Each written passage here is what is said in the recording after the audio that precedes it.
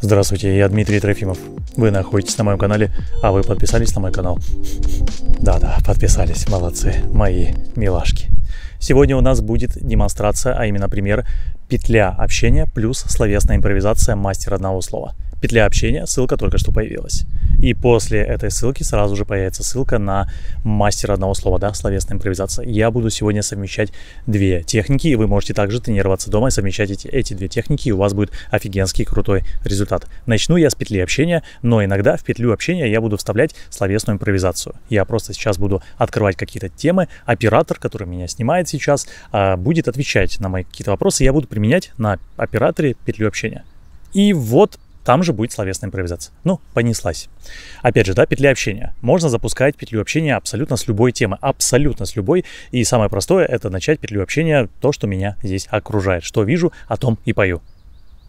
Вы слышите? Вы слышите? Птички поют.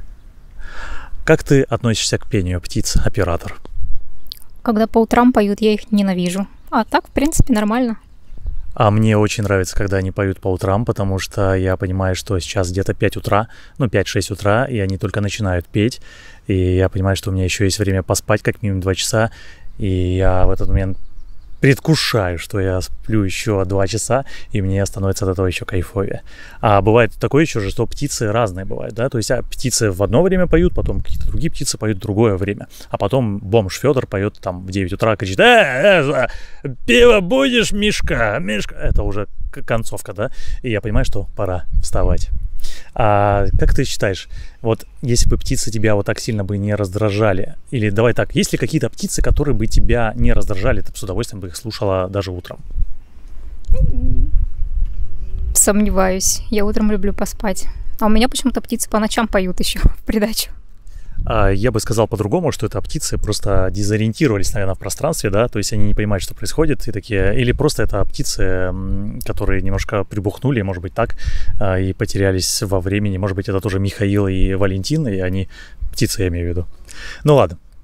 А вообще, если вот исключить, что вот летом, да, поют птицы, я как понимаю, мы же говорим про лето сейчас, да? Ну да. А вот если мы говорим, что птица тебя раздражает, а может быть, э, что тебе нравится тогда? Наверное же нравится, кроме вот то, что тебе нравится птица, значит нравится что-то другое. Что тебе нравится? Именно по утрам или вообще? По утрам. По утрам я люблю тишину, чтобы никто не мешал, особенно соседи дятлы, которые постоянно что-то ремонтируют. Смотри, смотри, белка, покажи, покажи ребятам белку, смотри, какая прелесть. Эти путьки, если вы там видите белка, это очень клевая, она так дышит и смешно. Смешная белка. Это прекрасно, когда к нам тянутся животные. Я был совсем недавно в зоопарке и увидел там пингвинов, они такие милые. А какие нравятся тебе животные? Ну, может быть, не в зоопарке, может быть, где-то еще. Я люблю белых медведей. Первый раз я их увидела в Новосибирске, тоже в зоопарке.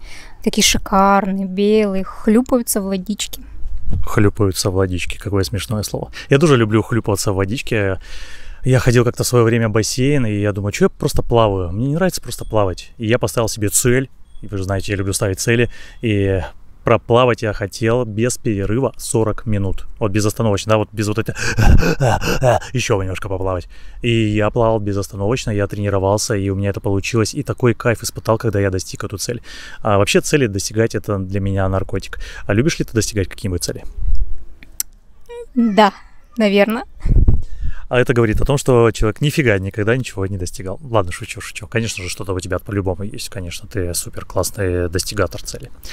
Ребята, сейчас была словесная импровизация плюс петля общения. Как вы видели, да, я, а, помимо того, что я задал какие-то вопросы, я пытался также раскрутить а, тему собеседника, но больше, больше я говорил именно о себе. Но я мог еще даже, если бы захотел, я мог еще раскручивать тему собеседника, да, например, почему не нравится пение там по утрам, почему это какие-то там какие-то птицы, а, что там с летом. То есть я старался раскручивать тему собеседника, плюс я задавал вопросы, и все равно, все равно я включал словесную импровизацию. В словесной импровизации что я включал? Я включал модальности, да, что я чувствую чувствую, что я вижу.